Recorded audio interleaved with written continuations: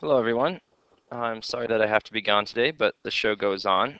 Uh, we today are going to be working on the last section of Chapter 2. Chapter 2 is a overview of functions and all the properties with functions.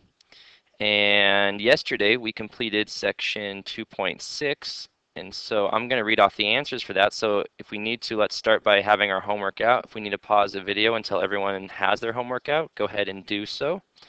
Otherwise, I'm going to assume that we are good to go.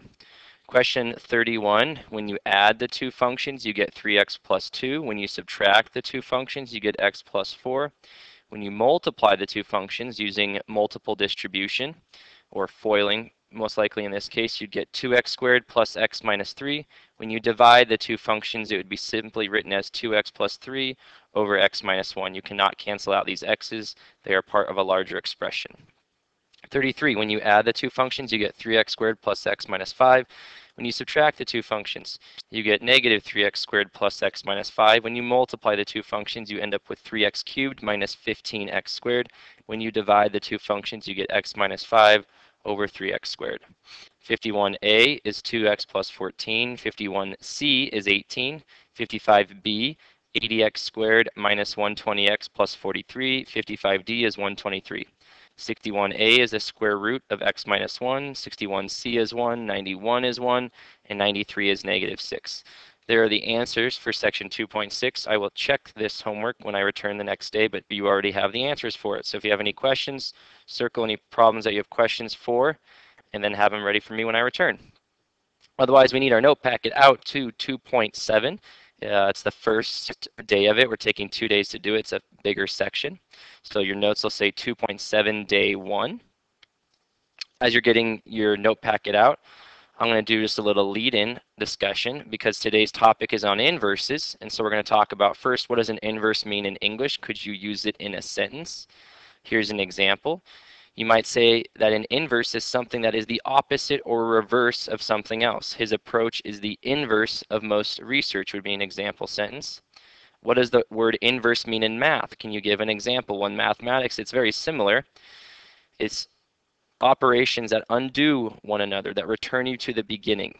So addition and subtraction are inverse operations. If I start at a number and add 3, the inverse of adding 3 would be subtracting 3 because I get back to the same number. Example, if I start at the number 12 and I add 3, I'm, I'm at 15. If I then subtract 3, I'm back to 12, I'm back to where I started. So they undo one another. That's a very important property that we'll see with the last part of today's lesson, that it gets you back to what you supplied. To start, we're going to deal with a uh, kind of a real life context situation that makes it a little easier to grasp these concepts. So here's the lead in. It says biologists have found that the number of cricket chirps per minute is actually a function of the outside temperature. The function's given below. So how does this function work? Well, I supply some temperature and it's going to return for me the number of cricket chirps. So can I use this function to calculate the following and then interpret them? So we're kind of doing a review of how function notation works because it's very much connected to how we're going to study inverses here in a moment. So to start, if I supply 75, we know I just need to put 75 in for t and then simplify. End up with 4 times 35 and 4 times 35 should be 140. So I know that C of 175 is 140. Then it asks me to interpret it. Well, what is this uh, 75 mean? This 75 means temperature. This 140 is the number of cricket chirps that it returns. So I would say at 75 degrees, chirp rate is 140 trips per minute. That's what the interpretation would mean. One more. What if I do C of 40? C of 40 would then be 4 times 40 minus 40. That leaves me at 4 times 0, which is 0. This is kind of where the model breaks down to the very last point in which the model applies. It's essentially saying that when the temperature is 40, the chirp rate is 0. It starts to get too cold for crickets to be out and operating. At 40 degrees, chirp rate is zero chirps per minute. And that's how the regular function notation will work. And that's kind of all well and good. I can give it a temperature. It will tell me a chirp rate. It'd be slightly more interesting, though, if I could be outside and just count the number of chirps and then use that to determine an estimate for the temperature. Well, the problem with the way the original formula was set up was I supplied a temperature would give me a chirp rate. I want the opposite. So I need to resolve this equation so that I have T equals, so that I supply a chirp rate and then it's going to return for me a uh, temperature estimate. So in order to do this, uh, what I can do is, well, I'm going to solve. So if I solve for t, there's a couple things. Some people might divide both sides by 4. Some people might distribute. It doesn't really matter. I'll distribute just to show it really doesn't matter. I get 4t then minus 160. I then add the 160 over the other side. And the last step is I'm going to divide everything by 4. Divide by 4, divide by 4, divide by 4. My new equation is going to be then c divided by 4 plus 40 equals t. I'm going to rewrite this so t is on the other side. t is equal to c divided by 4 plus 40. Now I can give it a chirp rate. It's going to return for me a temperature. We actually call this now the inverse function. This new equation is called the inverse function because it takes the original output as the new input. What do I mean by this? Well, if I looked at the original equation, I supply a t, it returns a chirp rate. With the inverse, I supply a c now, and it's going to return a temperature. And that's the exact opposite of what we had before. You will see, though, if the book were to write this answer, this is how they write uh, the answer for the inverse. They would write it in the following way using function notation. They put c, and they use a negative 1 to mean inverse when we study exponents uh, down the road. We'll review why that a negative 1 as an exponent means inverse. If you know a little bit about exponents, you might check for yourself what like 5 times 5 to the negative 1 gives you, and you might start to see why it means inverse. It's because it gets you back to the beginning of multiplication, which is 1, because 5 to the negative 1 turns out to be 1 fifth. So if I were to write it in function notation, I'd say c and the negative 1 means inverse. I would say c is inverse, and then in parentheses, we use the variable x to mean input. When I supply an input, it's equal to the input divided by 4 plus 40. We know for the inverse function, though, that this x really is a chirp rate because it has to be the original output. So that's how we would write it in function notation. All that happens from here to here is a renaming. I just rename it using the variable x because x stands for inputs in mathematics. That's what an inverse is. So inverses, the definition is functions f of t and f inverse of t. We use the negative 1 exponent to mean inverse. Are inverses if the input of f is the output of f inverse. And if the output of f is the input of f inverse. It just means that they're flipped. So for example, here's a mathematical way to write the property if for the original, when I give it A, it returns B, then it means for the new functions, the inverse, if I give it B, it's going to return A. Here, let's check one. For example, we checked with the original function, if I give it 75, it returns 140. That means for the inverse, if I give it 140, it should return 75. Let's check if that's true. If I put 140 into the inverse one now, it should return 75. Well, 140 divided by 4 is 35, and 35 plus 40 is 75, so it does the job. That's exactly what it should do as an inverse, because it flips the roles of the inputs and the outputs. So here's an example of a question they'll ask you about interpreting. For our cricket and temperature example, interpret each of these if the original function worked where I gave it the temperature and returned the chirp rate. So if this is the original, then this has to be a temperature and this has to be a chirp rate. So I would say at 45 degrees, chirp rate is 20 chirps per minute. You can go and check for yourself. If you go back to the original, put 45 in here. 45 minus 40 is 5, and 5 times 4 is the 20. Now this is for the inverse. The inverse, this 80 no longer represents a temperature. This is a chirp rate, and it returns for me a temperature at which that chirp rate would occur. So we'd be saying here, uh, if 80 chirps per minute, chirps per minute, temp is 60 degrees. You can check for yourself by going to the inverse. If I put 80 in here, 80 divided by 4 is 20, and 20 plus 40 is 60. It does exactly what we thought it would. That's all an inverse does, it flips the roles of the inputs and the outputs.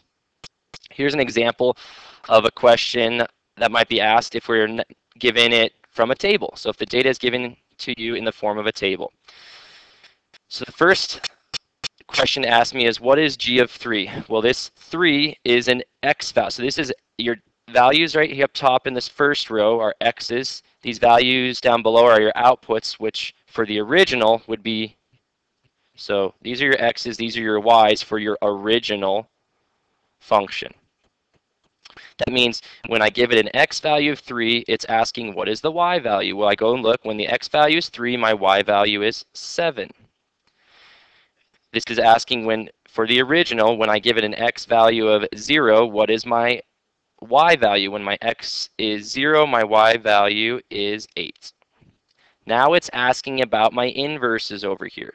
So for my inverses, though, these right here are really, uh, this is now a y value. For the inverse, it gives me a y, and I'm it's asking what the x value was that would have made that y. So it's looking backward. So now I'm looking not up here to start, I'm looking down here. I need to look at my y's to start. So for my inverse, when I give it 7, it needs to return for me the x value, which is a 3. If it's asking for the output when my input is 3 for the inverse, again, I'm looking down below. I'm looking at my y values and asking what the x value must have been. When my y is 3, my x value is 5. That's how you do it from a table. Last way they might ask this of you is they might ask this uh, of you from a graph. So again, choose light blue. For the original, the inputs are x's and the outputs are y coordinates. So this is saying when my x coordinate is 0, what is my y coordinate? Well, there's only two points here. Let's mark what they are. So here's this one. This is the point 0a. This is the point B0. This is saying now when my x coordinate is 0, what is my y coordinate? Well, when my x coordinate is 0, my y coordinate is a. So I'd say a here. This again is for the original. So this is an x coordinate, this is a y coordinate. This is saying for the original, when the y coordinate is 0, what is your x coordinate? Well, when your y coordinate is 0, your x coordinate is b. So this would be b right here. Now for the inverse. For the inverse, your inverse takes the original outputs as your inputs. So these are y coordinates. When your y coordinate is unknown and your x coordinate is 0, what is your y coordinate? Well, when your x coordinate is 0, your y coordinate is a. This is saying for your inverse, so your inverse's inputs are y's and your outputs are x's. This is saying when your y coordinate is 0, what is your x coordinate? This would be b. That's how you answer those types of questions. I'm going to ask you to interpret one like we did with the cricket chirp and temperature. So the way that this function works is if you give it a person's weight as the input, it's going to output for you the number of milligrams of a drug that a do doctor should supply based on their weight. Under this context, can you interpret what an original function statement would mean and what an inverse statement would mean? So on your whiteboard, pull it out. These, these should just you should just be writing down two sentences. This is a verbal description. There's no mathematical computation to be done. Maybe pause the video for a minute, give everyone a chance to try, check with a neighbor, and then unpause it after a minute and you've had a chance to try. Okay, so here we go. How does the original function work? The original function takes weight as the input and returns milligrams for the output. So you would say 400 milligrams should be prescribed for a patient weighing 150 pounds. Or you could say if a patient weighed 150 pounds, they should be prescribed 400 milligrams. The order in which you write these doesn't matter, but the 400 needs to be milligrams and the 150 needs to be weight. For the inverse, the roles have now changed. This is no longer a weight. This is the milligrams and this is the weight. So you would say a 100 pound person should be prescribed 200 milligrams. Or you could say 200 milligrams should be prescribed for a 100 pound person. Now we're going to do some computation. So we've kind of practiced interpreting it. Now if they give you a function, you should be able to find its inverse. So example, if f of x equals 3x plus 4, find the inverse. Well, how do we do that? Well, f of x, this is really standing for y. So this is y is equal to 3x plus 4. So step one, I would say, is to uh, rewrite as y equals. Step two is we need to solve for x. We need x to be solved for. So that now I will give it a y coordinate, it will return an x. Because right now I give it an x coordinate, it returns a y. I want the opposite. So if I'm going to solve for x, I'd subtract 4 to start. And then I divide everything by 3. Divide by 3, divide by 3, divide by 3. I end up with 1 third y minus 4 thirds equals x. Last thing we do is we rename using function notation, using f inverse of x. So the last thing we do is we rename it. We would say f's inverse, and in parentheses we put an x. This x represents inputs. I realize that it's actually a y coordinate, but in mathematics we use x to represent input. So we'd say f's inverse is one third of the input, so we would put x here, minus four thirds you should realize this equation and this equation are the exact same. The only difference is we use the variable x here to represent input. So x represents input in mathematics. I recognize for an inverse, this x is actually representing a y coordinate, but it could be an application question where it could be about weights of people or the drug prescription or the temperature or the cricket chirp rate. So we use x to represent any of those. So this right here would be the final function uh, notation answer. So your final answer is this guy. If you left it right here, I would say you're one step short. You need to rename it using function notation. Now we can check. Here's how we can check. The original function was equal to 3x plus 4.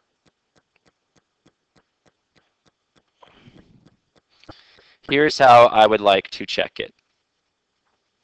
If I give it an uh, x coordinate for the original, so let's say I ask it, what is f of 1? If I put 1 in here, I get 3 times 1 plus 4 is equal to 7. So I know that f of 1 equals 7, which means if I put 7 into the inverse, I should get 1 as the output. Let's try. I get 1 third times 7 minus 4 thirds.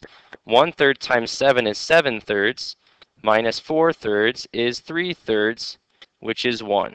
So I see then, for the inverse, when I give it a value of 7, it returns 1 for me. And that's how I know that I did it right. So the function's inverse is shown right here in red and we just checked it. So step one for this process is rewrite as y equals. Step two is solve for x. And the last thing is to rename using function notation. Last thing uh, to note though is we found that if f of x equals 3x plus 4, the inverse is not simply uh, 1 over the original function. The inverse does not mean reciprocal. It just means to resolve so that you have uh, x by itself. We have 1 third minus 4 thirds. That's the same exact thing as x minus 4 over 3. So it does not imply the reciprocal function. On the last page, we found that 3x plus 4 and the inverse was equal to x minus 4 over 3. That's the same thing as 1 third x minus 4 thirds. Same thing, or x divided by 3 minus 4 thirds. It's the same thing. Now find the following. Find what f if I give f inverse as the input is going to equal.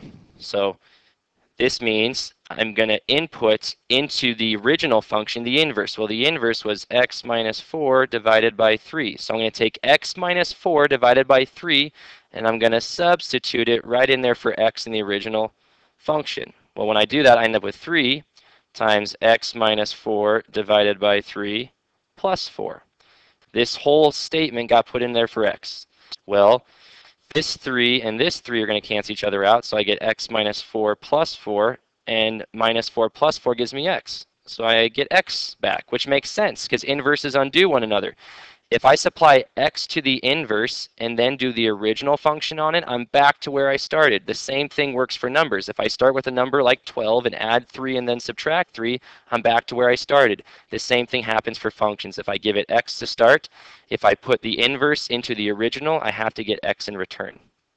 It works the other way too. I could put the original into the inverse. So here, I would be asking if I take the inverse and I put in the original statement, which is 3x plus 4, I'm going to take this whole statement right here and I'm going to substitute it into x in the inverse.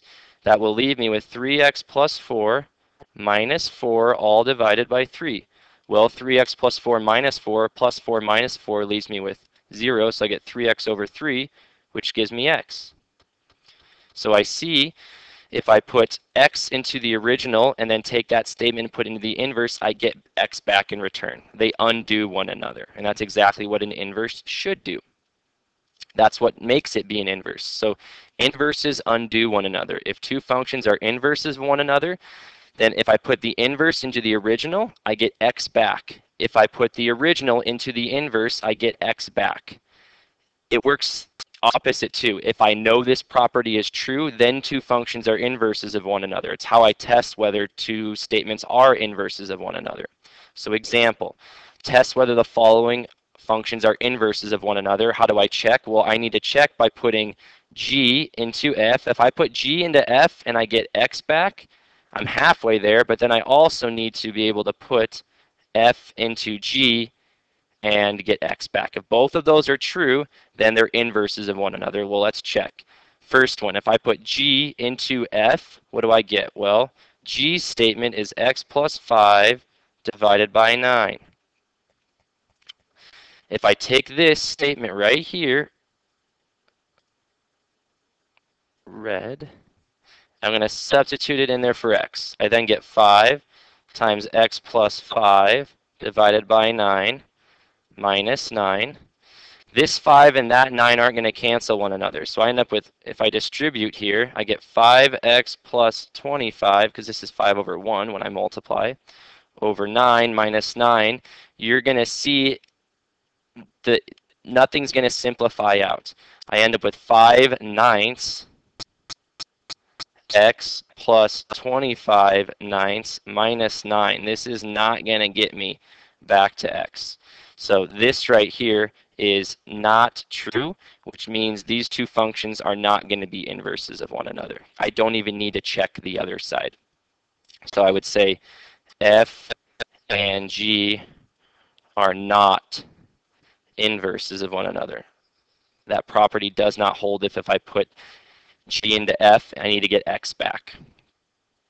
I'm going to ask you to try one of these. So on the whiteboard, pull your whiteboard out. Your first goal is to find the inverse if f is equal to the square root of x, so if y equals the square root of x, can you find the inverse first? So that's step number one, and then test whether the following are true. If you put the inverse into the original, do you get x back? If you put the original into the inverse, do you get x back? So pause the video now for maybe two minutes, give people a chance to try it, check with the neighbor, unpause it once you've had a chance to try. Okay, so the first thing you should have found is you should have found the inverse, and the inverse is x squared. Why is that true? If I solve for x, how do I undo a square root? I square both sides. When I square both sides, I end up then with y squared is equal to x. That's the inverse. We rename it using function notation, and when I rename it using function notation, I would say the inverse takes things and it squares them. I know that this input is really a y coordinate though, but there's the inverse. Now I need to check that each of these are true if I put the inverse, and the inverse I already found is x squared, into the original statement, what do I get? Well, the original statement was square root. So if I take the square root of x squared, what do I get in return? I get x. So the first one holds, so this is good. Now I need to check if I put the original into the inverse, what happens? Well, the inverse, I'd be putting the square root of x. That's the original statement is the square root of x, and I need to put that into the inverse. So I take this square root right here, and I put it into the inverse statement. So I'd be taking the square root then of x and squaring it. Square root squared, they undo one another because square root is 1 half power and 1 half times 2 is 1. So square root and squared will undo one another. I get x in return. So I get x in return when I input x for both statements, meaning both of these true, they undo one another. So that is the inverse. And that is it for the first day of 2.7. As you're working on your homework, answers will be right here. Uh, you can check as you work and then have any questions ready for me when I return. Otherwise, thank you very much and have a good day.